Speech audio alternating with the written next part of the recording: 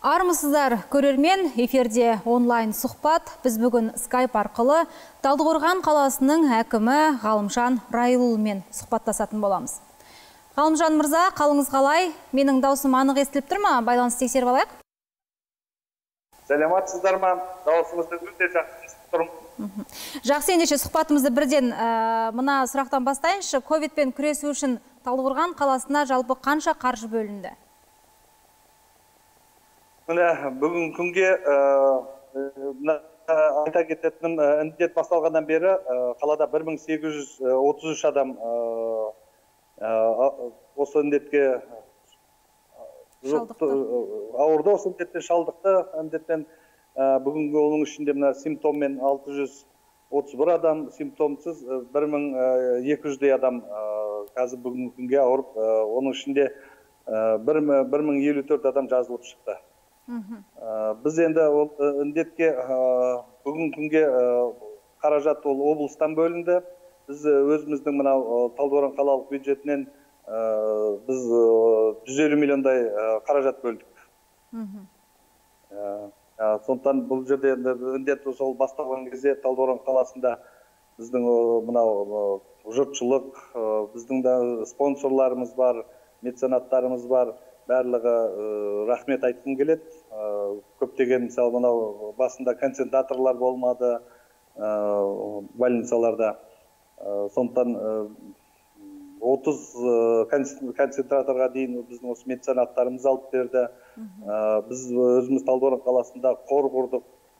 Қорға сегіз тоғыз миллиондай қаражат түсті. Ең бірінші сол басталған кезде сол қордың атынан да он концентратор алдық. Басқа да керек жарақтардың бәрін мынау екі поликлиникамызда біздің жаңағы еріктілер жұмыс істеді. Сол еріктілерге содан олармен бірге біздің медбикелеріміз әр үйді үйге барып жұмыс істеді. Сол қордан өздерінің енді медбикелердің айлықтарын білесіздер аз екен сол медбикелерге біз қосымша қаражат сол қордың атынан бердік. Ол жерде бізде 11 мобильдік группа жұмыс істеп отырды. Мысалы қарттарымыз бар инвалидтеріміз бар жаңағы көпбалалы аналарымыз бар. Солардың бәріне енді ол кезде көшеге мысалы енді шығып жүре алмағандары болды қатты ауырғандар болды. Соның барлығын үйде температурасын өлшеп давлениесін өлшеп врачтар шығып жаңағы үйден сол капельница қойып үйден көп емдеулерді біз жасадық. Сол жаңағы медбикелермен біздің жаңағы врачтарымызға қордан да ол сегіз тоғыз сегіз миллион тоғыз жүз мың қаражат жиналған. Сол екі миллиондай теңгені біз сол медбикелерге үстемелі ақы қылып бердік сондықтан біз мына екі гостиницада врачтарды ол тек қана дежурствода больницаға барады шыққаннан кейін ол үйлеріне ол енді контактный болады ғой олар біреуі жаңағы красный зонада жұмыс істеді. Сол красный зонада жұмыс істегендерді мысалы бәрін гостиницада үш мезгіл тамағын беріп автобуспен тасып соның гостиницасын осы қалалық қаражаттан облыстан бөлінді. Қалаға қалалық қаражаттан біз сол түгелдей төлеп отырдық. Ол бес бес айдай біздің врачтарымыз медбикелеріміз тек қана біздің талдықорғанның емес бұл енді орталық болғаннан кейін үлкен больницалар бізде болғаннан кейін райондардан да врачтар шақырылды. Олардың бәрі сол біздің гостиницаларымызда жатты. Жылы мысалы тамағын тек қана жаңағы өкіметтің бөлген емес оған да меценаттарымыз барып көңілдерін бөліп жатты. Көмек қолын созды ғой оларға да қолдарын созды. Етіне дейін майына дейін мысалы фруктысына дейін апарып беріп жатты сондықтан енді бәріміз енді біз біргеміз деген үлкен ұғыммен жұмыс істедік қой бұнда біз жақсы. Түсінікті.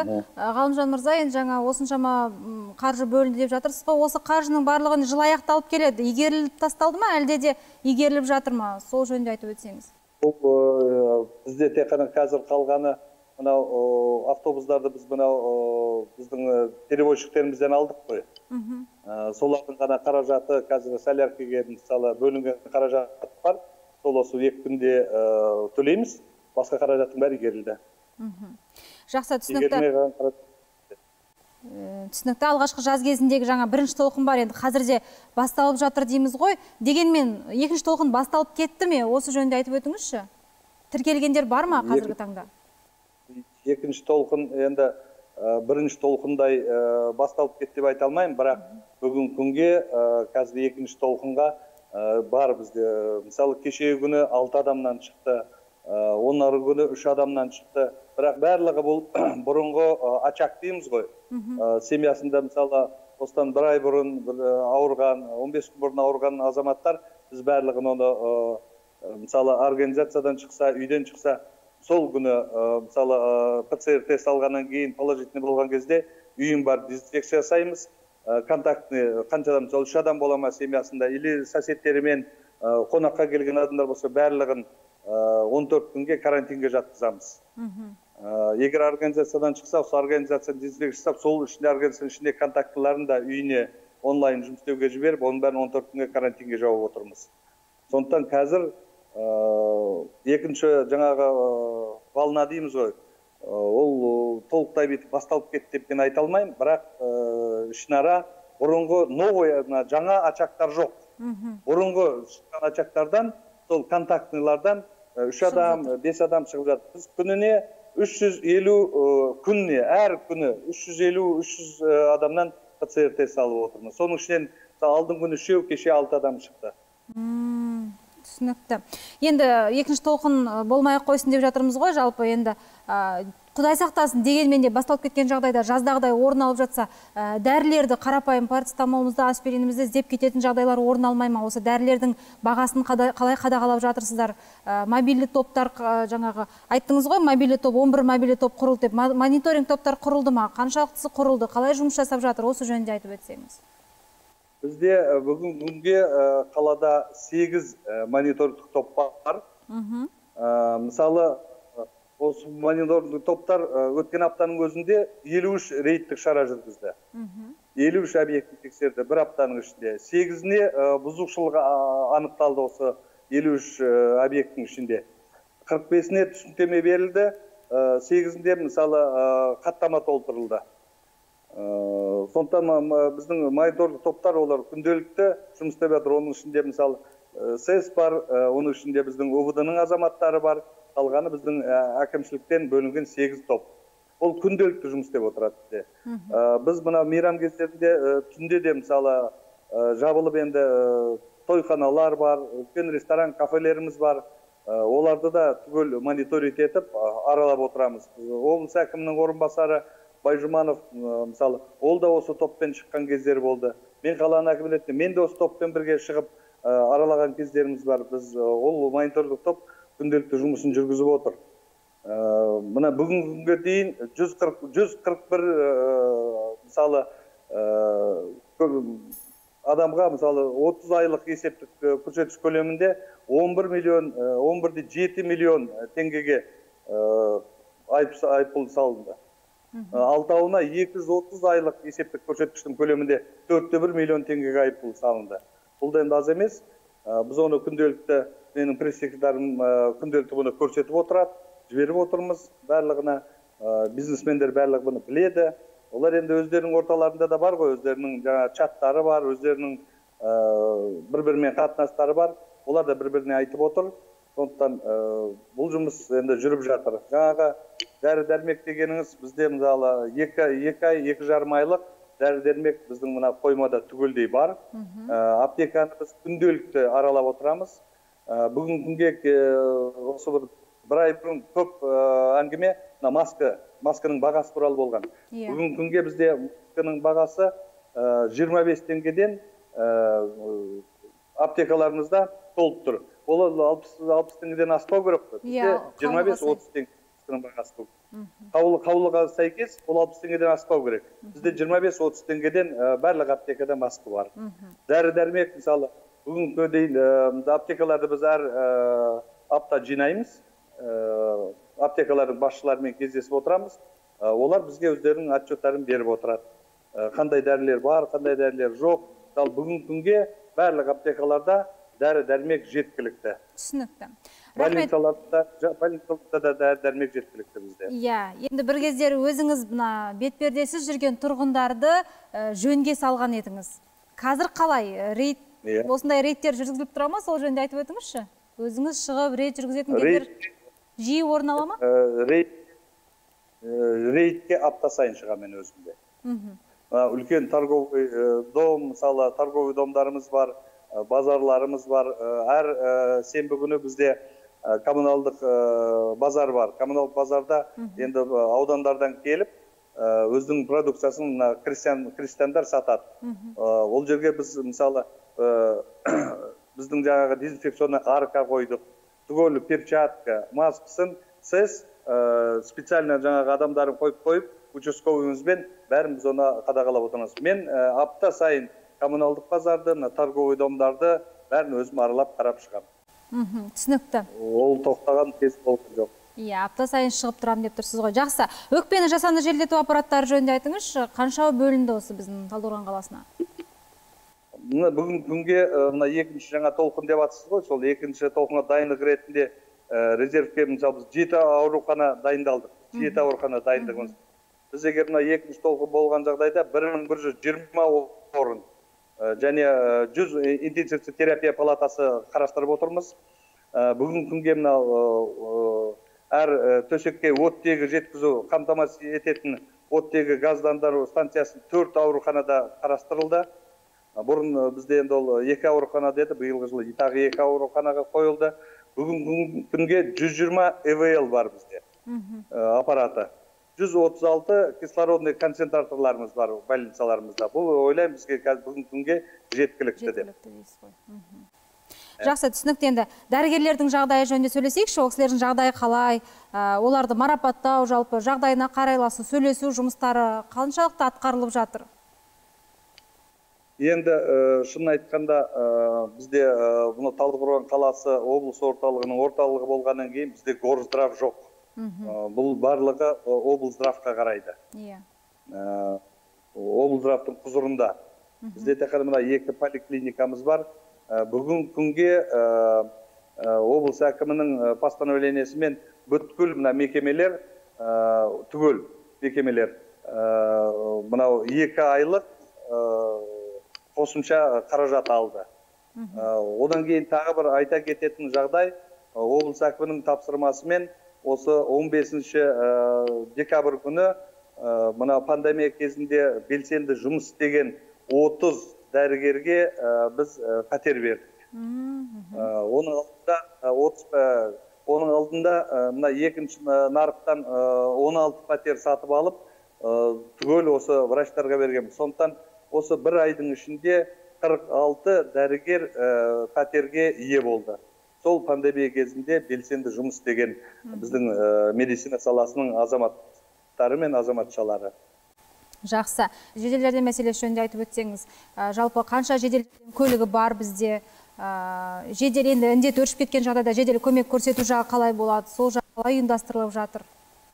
Бізде жедел жедел жар- жар- жәрдем станциясы бар бізде. Бізде бүгінгі күнге көліктерінің бәрі жаңа. Э, мен енді қазір оның сан санын сізге осы жақын арада берілді. Э, э, жедел жәрдем скор- скоройлары берілді бізде. Жүз- жүз жүз сексен. Жүз біздің алматы облысына тек қана 180 э, жаңа э, скорый помощьтар алынды. Соны аудандарға таратылды оның жиырмасы мынау біздің қалалық э, біздің э, скорый помощь станциясына берілді. Мхм. 180-і жаңасы биыл алматы облысына алды содан кейін э, бізде жаңа анау э, аудандарда э, орталығында үлкен автобустар оның іші түгел жаңағы целый поликлиника ғой бір автобус поликлиника иә Э, передвижной поликлиника олар да мысалы аудандағы орталығына мысалы жаңа современный оның ішінде даже автобустың ішінде эвл аппараты да бар оның мхм. Э, мысалы оны орталыққа жеткізу керек болатын болса егер сол жерде жедел жәрдем көрсету керек болған жағдайда жаңағы эвл аппаратына дейін бар. Барлық жағдай жасалған. Төрт сондай үлкен передвижной жаңағы поликлиникалар автобустар алынды. Олар да осы аудандарға берілді. Індет біздің өмірімізді барынша өзгертті ғой енді. Кәсіп саласына да бір ә, белгілі бір өзгертулер енгізілді. Ә, қандай салалар қысқарылып қалды? Талдықорған қаласында қандай кәсіптер қысқарылып қалды? Осы жөнінде айтып өтіңізші. Осы пандемия яғни карантин кезінде қысқартылған кәсіп орындарды айтып өтсеңіз қандай жұмыстар тоқтатылды? Пандемия кезінде бізде ә, ең ә, көп мысалы кино кинотеатрлар көбінесе кинотеатрлар тоқтатылды бізде жұмыстары. Содан кейін развлекательный орталықтар бар ғой. Иә. Олардың жұмыстары түгелдей тоқтап тұрды.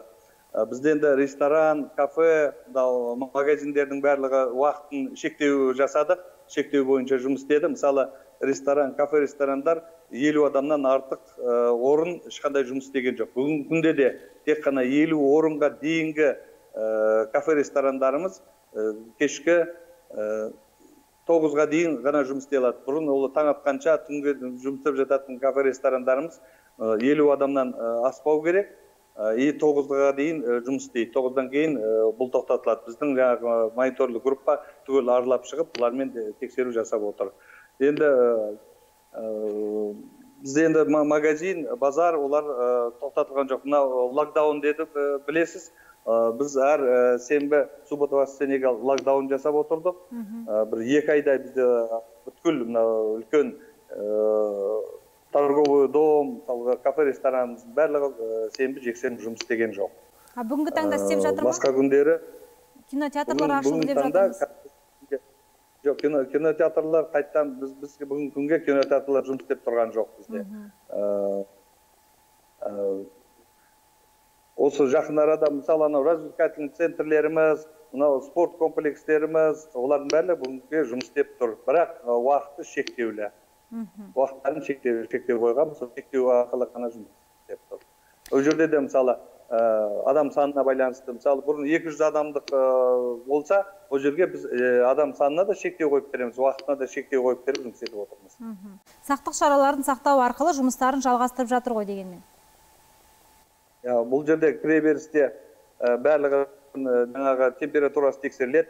Маскасыз ешқандай мысалы организацияға ондай орындарға ешкім кіргіз даже ресторан кафелерімізге де маскамен кіру керек болады. Кіреберісте бәрі санитайзерларымыз тұр. Сол санитайзерларға арқылы қолдарын обработка жасау керек. Ә, бізде мысалы базар үлкен торговый домдар басқа жерлердің бәрінде аркалар қойылған. Сол арка обязательно аркадан өту керек болады. Бұндай шаралар барлық жерде бізде бар. Жақсы негізінде енді бізде аудандар бар аудандардың округі бар шалғай ауылдар бар ғой. Ә, сол шалғай ауылдардағы тұрғындарға жаңағы олардың түсінігінде бізге індет жоламайды деген бір түсінік бар. Егер себебі ә, ауылдарда жаңағы халық саны тығыз орналаспаған бізге індет жоламайды біз ауырмаймыз деп ә, нағыз жаңағы асыңыз да жиыныңыз да тойыңыз да сол ә, ауылдарда болып жатқан сияқты. Ә, біздің енді мобильді топтарымыз бар мониторинг топтарымыз бар. Осы топтардың рейд жүргізу барысында қандай тәртіп бұзушылықтар ә, көп орын алады? Сол жөнінде айтып өтсеңіз енді тойдан бас тартпаған ха- халықпыз ғой негізінде. Ә, айыппұлдар салынып жатыр ма? Ол ә, жаңа мен айтып кеттім. Ә, айыппұлдар салынғанда біз бір- бүгіннің өзіне ә, 141 ә, жаңағы азамат пен азаматшаға 30 айлық есептік көрсеткіш көлемінде 11 миллион же- 11 бүтін оннан 7 миллион теңгеге және алтауына 230 айлық есептік көрсеткіш көлемінде 4,1 миллион теңгеге айыппұл салынды. Бұл әкімшілік құқық бұзушылық кодексінің 425 бабының бірінші тармағына сәйкес. Жаңа айтып кеттім жаңа бір аптаның өзінде біз елу үш рейдтік шара жүргіздік. Оның сегізінде соның елу үштің сегізінде бұзушылық анықталды. Оған да мысалы қырық бес енді барлығын енді протокол толтыра бермейді. Оның қырық бесіне түсініктеме жұмыстары жүргізді. Егер ол қайталанған жағдайда қайтадан оған хаттама. Айып- айыппұл салынатын болады. Жақсы енді мына айыппұлдан тыйылып жатқандар бар ма енді? 11 миллион деген 11 бүтін оннан жеті миллион дегеніңіздің өзі қомақты ақша ғой былай қарасаңыз.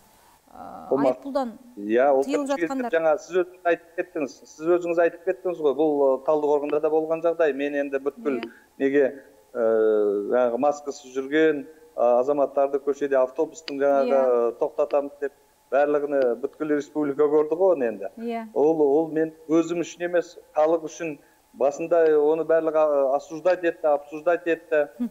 Кейін менің сол телефоныма жүзден асық сообщениелер түсті. Біз сізден кешірім сұраймыз. Сол кезде мен де сол орталықта болған азаматша едім. Бүгін міне сіздің сөзіңізді тыңдамадым. Мен анамнан айырылдым. Тағы бір рет кешірім сұраймын деп бір әлия деген қыз маған жазды мен анамнан айырылдым сол кезде сіздің сөзіңізді тыңдағанда анам өмірде болатын еді деп. Әкесінен айырылған бір ұл жазды. Мен де сол күні сізден көріп өзінше болып жүр. Бізде талдықорғанда жоқ бұлар ақша отмывать еткісі келеді деген сияқты ойда болғам. Міне мен бүгін осы пандемиядан әкем қайтыс болды. Мен де сізден кешірім сұраймын деп. Маған жүзден асық осындай сообщениелер түсті. Біз енді оны автобустарды да тоқтаттық көшеде де тоқтаттық. Мысалы торговый домға кіресің бұл жаңа өзіңіз айтып тұрсыз қандай бұзушылықтар? Ана масканы біз кіргенде монитор топ кірсе ғана иә, иә. кие қалады да шешіп тастайды. Иә. Перчатканы шешіп тастап бір только қана шай ішіп отырмын. Мен енді ғана келе қалдым. Как будто біз сол мониторный группаға или әкімге или әкімшілікке керек сияқты. Оны түсіндірме жұмыстарын жүргізіп жатыр бұл сіз халықпен жұмыс істейсіз. Сіз ертең міне контакт бұл адам сізге келді мысалы сауда жасап жатыр ол ауырып келді ма? Ауырмай келді ме? Сіз қайдан білесіз? Үйіңізге барасыз. Үйіңіздегі жаңағы туысқан туыс туысыңызды бала шағаңызды ауыртасыз деп түсіндірме кейін көбісі шыны керек түсінді. Басында бізде де сондай қиын жағдайлар болды. Маска кигізе алмадық. Масканы мысалы ки деп айтқаны үшін бізді сендер маска сатып алып келіп сол масканы өткізу дегенде даже сондай әңгімелер болды ол жасыратын ештеңесі жоқ. Вы хотите маску продать? Другого у вас это нет деп. Бұндай қиын жағдайлар бізде болды қазір. Халық маска киюді енді ол өздеріне керек екен. Жалғыз өзі емес отбасына халыққа істеп жаңа жұмыс істеп отқан өздерінің мысалы саладағы әріптестеріне керек екенін түсінді. Жақсы. Иә біздің жауапкершілігіміз басында расымен де төмен болды. Мына қоғамдық көліктерге мінсек те отырып жатсақ та ә, бетпердені киеміз дегенмен де иегімізге түсіріп қойып киіп жатқан жағдайлар болды. Оны барынша түсіндіру жұмыстарын жүргізіп жатырсыздар ғой. Енді біз барынша сіздердің жұмыстарыңызды атқарып жатқандарыңызға сенеміз. Мына енді ә, екінші толқын басталып кеткен жағдайда жалпы кішкентай балаларға қауіптірек деп көп штаттық режимде кезектен тыс жаңағы мектептерде оқып жатқан оқушылар мектептердегі сақтық шаралары қалай ұйымдастырылып жатыр? Осы жөнінде айтып өтсеңіз. Бүгінгі күнге жасыратыны жоқ. Бізде мектеп жасындағы балаларда ауырғаны бар. Сондықтан бүгінгі күнге біз талдықорған қаласында мектептердің бәрін онлайн режимге жібердік. Мына балабақшаларда дежурный жаңағы бөлімшелер бар. Сол топтар. Сол дежурный топтарды адам саны мысалы он бестен аспайтындай қылып оларға да бәріне осындай уведомление берілді. Енді мысалы барлық садикті жаңағы балабақшаны жауып тастай алмаймыз. Ол балалардың жаңағы балабақшаға апарып жұмысқа бару керек басқа жаққа бару керек. Сонда тек қана дежурный топтарды қалдырып оны санын он бестен аспайтындай қылып келісіп бүгін тек қана балабақшалар сол дежурный топтары ғана жұмыс істеп тұр. Мектептердің барлығын онлайн режимге шығардық бүгінгі күнге түсінікті. Карантинге байланысты енді азық түлік бағасы да шарықтап кеткенін білеміз. Қарапайым нанның өзінің бағасы шарықтады өсті. Осы бағаны қалай қадағалап жатырсыздар? Біз бүгінге бізде сегіз мынау торговый дом магазин бізде социальный жаңағы уголок дейміз. Біз нанның бағасы бізде тоқсан теңге қымбаттаған жоқ бізде. Бізде қымбаттап тұрған қазір бүгінгі күнге гречка. Ол енді сол гречканың аздығынан болып тұр. Басқа мысалы базарда огурцидың бағасы ғана қымбаттады мен кеше ғана аралап шықтым. Бәрінен сұрап жатырмын неге бұл огурцидың бағасы қымбаттап сол қымбат келіп жатыр деп бізге. Енді мына талдықорған қаласында бізде бірақ теплица бар. Ол да мысалы енді оның шығарған өнімі түгел талдықорғанды жаба алмайды сондықтан огурцидың бағасы ғана қымбаттап тұр. Енді ол үш төрт пайызға базарда мысалы бағалар қымбаттады оны жасыратыны жоқ. Мына социальный біздің жаңағы нанымыз сүтіміз біздің олар барлық бағасын біз күнделікті бақылауда ұстап отырмыз. Бізде отдел предпринимательства бар. Солар түгелдей магазиндерді күнделікті аралап отырады. Статистикамен бірге жұмыс істеп отырмыз біз. Иә мониторинг группалар да магазиндерде түгел кіріп қарап отырады. Баға қымбаттаған жағдайда олар бізге хабар береді біз шығып олармен жаңағы сұхбат жүргіземіз. Жақсы. Ғалымжан мырза менің сізге қояр сұрағым аяқталды. Егер сіздің алып қосарыңыз болса тұрғындарға кеңесіңіз болса мархабат құлағымыз сізде. Мен тұрғындарға айтатын бірақ сұрағым бар. Мынау барлығымыз жаңа өзіңіз айтып кеткендей осы індет басталған кезде бәріміз сенімсіздікпен қарадық сенімсіз көзбен қарадық. Сенбедік. Менің туысқаным ауырған жоқ мен ауырған жоқпын деген мысалы сөздер өте көп болды. Енді бұны білесіздер біздің мынау талдықорған қаласында облыс әкімінің орынбасарына дейін аудан әкімі өмірден осы пандемиядан кетті. Өмірден кетті. Енді жатқан жерлері жайлы болсын. Содан халық қазір бүгінгі күнге түсінді.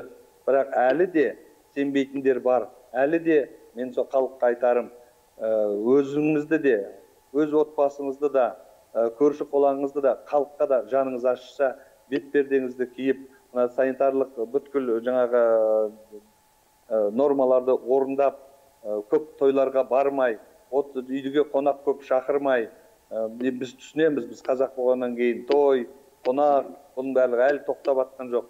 Біз мысалы мына кафе ресторандарды тоқтатқанмен үй үйінде әлі қонақ шақыру бір біріне қонаққа бару мысалы отыз қырық адам жиналып алып беташар өткізу деген тойханада істемесе де үйде өткізу дегендер әлі болып жатыр. Осының бәрін ә, тоқтатсақ ә, көп жинамасақ бұл ішінде отыз адамның ішінде кім ауырып кім келіп жатқанын қайдан білеміз? Қайдан біледі олар? Ертесіне барлығы сол ауырады. Ол отыз адам ауырса басқа ол ол отыз ошаққа барады. Ол жерден де басқаларды ауыртады сонда бұл тез жаңағы тарайтын. тарайтын болған тарайтын ауру болғандықтан мынау талдықорған жұртшылығына алматы облысы жұртшылығына өзімнің әріптестеріме мынау бауырларымызға айтатыным мына кішкене ғана уақыт қой енді.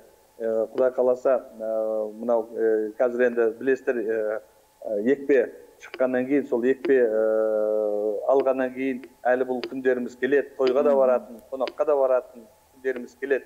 Осыны кішкене азайтса қонаққа баруды тойды өткізуді бәрін түсінеміз. Бірақ соны менің бір ақ сұрағым осыны кішкене тоқтата тұрса деген сұрағым бар. Халық үшін ел үшін өзі үшін отбасы үшін бауыр баласы бала шағасы үшін осыған кішкене жауапкершілікпен қарасақ дейсіз ғой енді. Жауапкершілік көзбен қарасақ нұр үстіне нұр болар еді. Жақсы. Түсінікті ғалымжан мырза сұхбатыңызға барынша ақпараттандырғаныңызға рахмет. Жұмысыңызға береке тілейміз. Рахмет сіздерге де. Қымбатты көрермен бүгінгі онлайн сұхбатта талдықорған қаласының әкімі ғалымжан райұлымен сұхбаттасқан болатынбыз. Біздің бағдарламамыз осымен аяқталды. Лайым індетсіз бейбіт күнде сұхбаттасуға жазсын. Аман. Сау болыңыздар